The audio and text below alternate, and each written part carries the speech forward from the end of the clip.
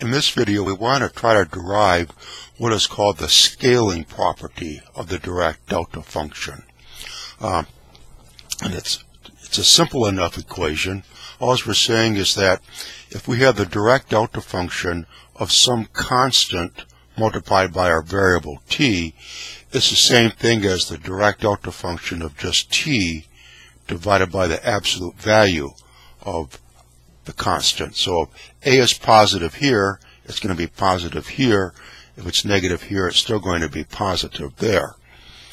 And to try to derive that, let's go back to our basic definitions. Now remember what we derived in the previous videos in our series, which reminds me that I should emphasize the playlist for all the videos is at the website digital-university.org. Now, what we saw in the last videos is that if we have, say, this expression, f of t, say, times the Dirac delta function of t minus a dt, that equals f of a. Now if we have the Dirac delta function of just delta t, so a is 0,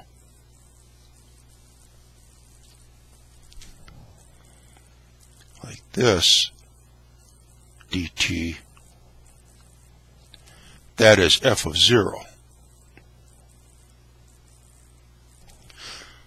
But now instead of the Dirac delta function of t if we have a times t.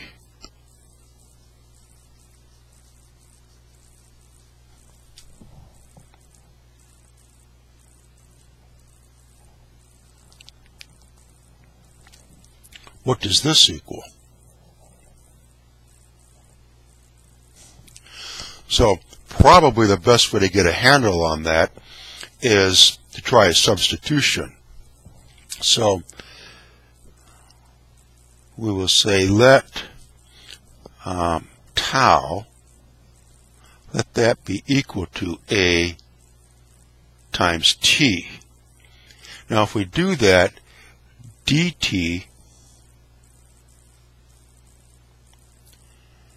that will equal 1 over A times d tau and t that would just be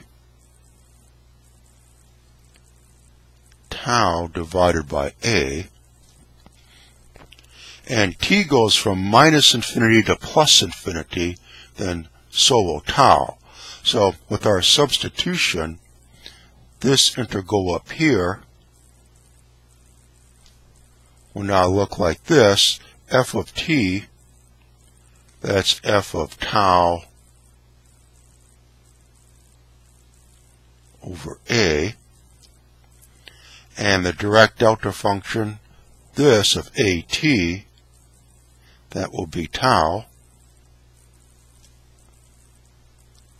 and dt is 1 over a d tau, and the limits go from minus infinity to plus infinity. This is a constant, so we can just take it to the outside.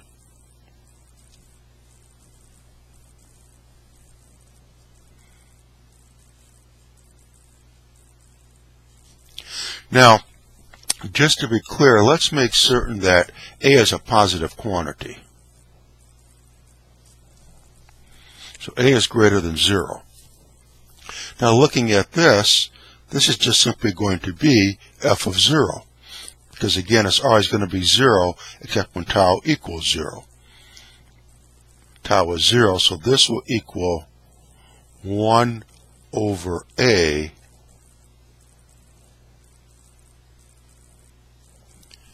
f of 0.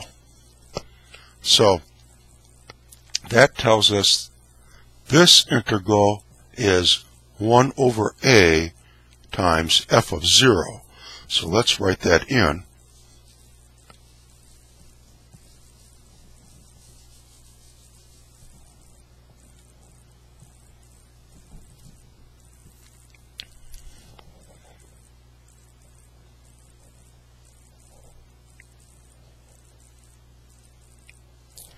And we did that when this a is a positive quantity. Now we want to consider the case when A is less than 0.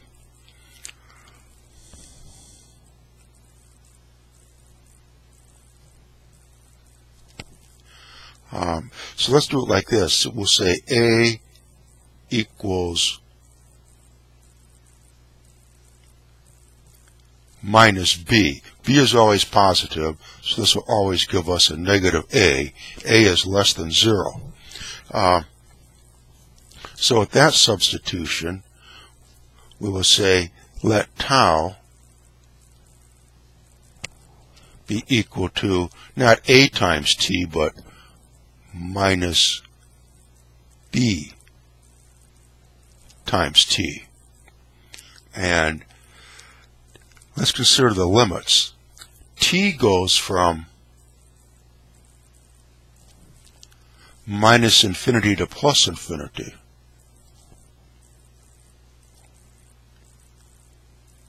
Then tau, if t is minus infinity, tau will be plus infinity. And if t is plus infinity, tau will be minus infinity. And let's see, um, dt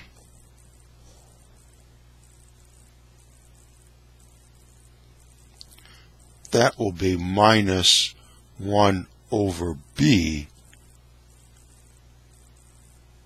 d tau. And t, that will be minus 1 over b times tau. We'll just put tau up here, minus tau divided by b. So let's go back up to our integral. It is f of t. That will be f of tau divided by minus b.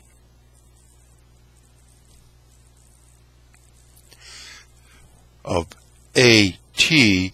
That will be that's what tau is. A is now minus b. So then we have this and dt that is this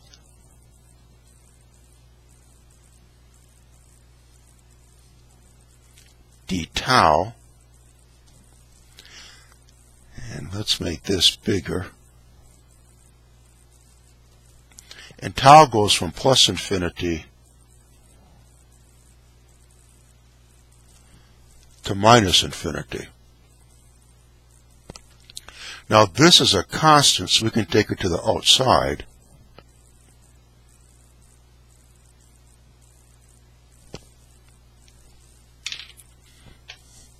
then we'll just have d tau.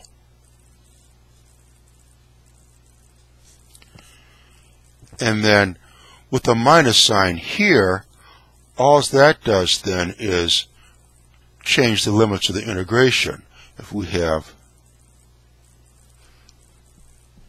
the integral from, say, uh, a to b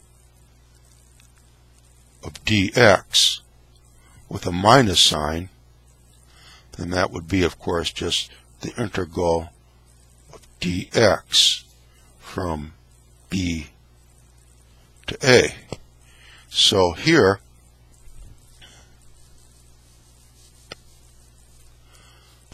with this negative sign, let's take it out then and change the limits so it's like that.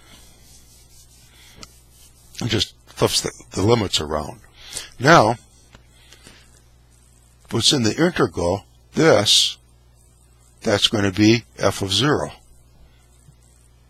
It's always going to be 0 except when this is not t, this is tau. It's always going to be 0 except when tau is 0. So you have 1 over b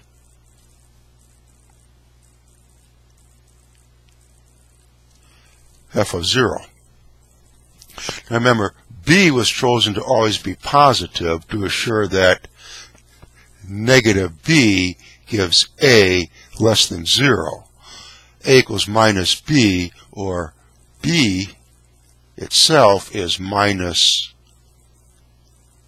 A, but A is less than 0. So this right here is going to be a positive A.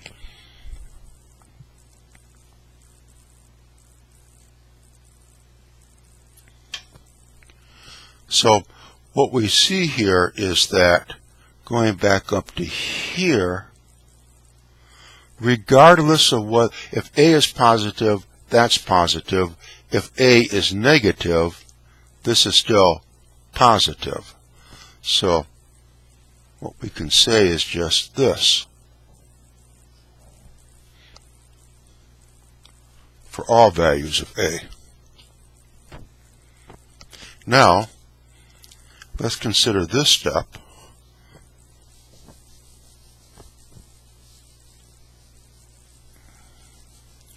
F of 0 can be written like this.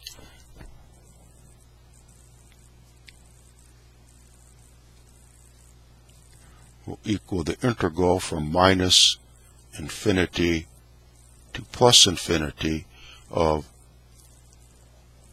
f of t Dirac delta function of t dt. So let's write this up here in place of this.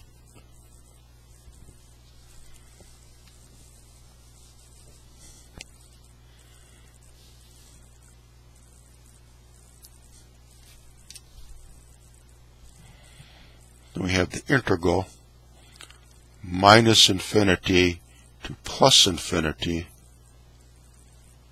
f of t Dirac delta function t. This is a constant. Let's take it to the inside. So you have 1 over a d delta t dt and get rid of it here.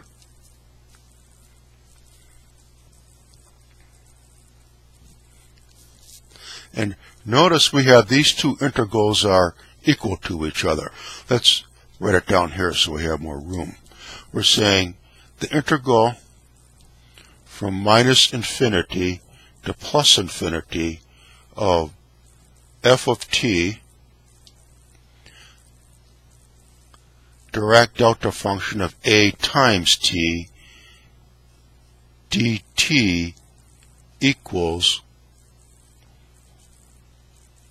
this integral f of t 1 over the absolute value of A delta T dt. I'm going to erase this. And let's consider what this means now.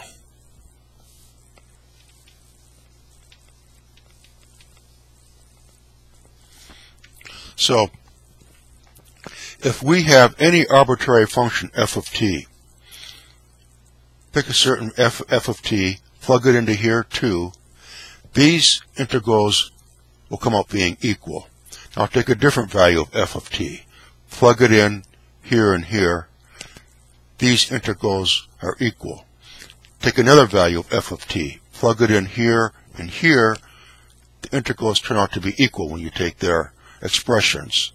And this is true for any arbitrary value of f of t that we put into there, always being equal, then that will imply that what's inside of the integral sign is also equal, the integrands. So that would mean that implies that the Dirac delta function of a t equals 1 over the absolute value of a delta t. And that's what we set out to prove. And this is called the scaling property of the Dirac delta function. And we can use this to prove other properties of the Dirac delta function. We'll do that in some future videos.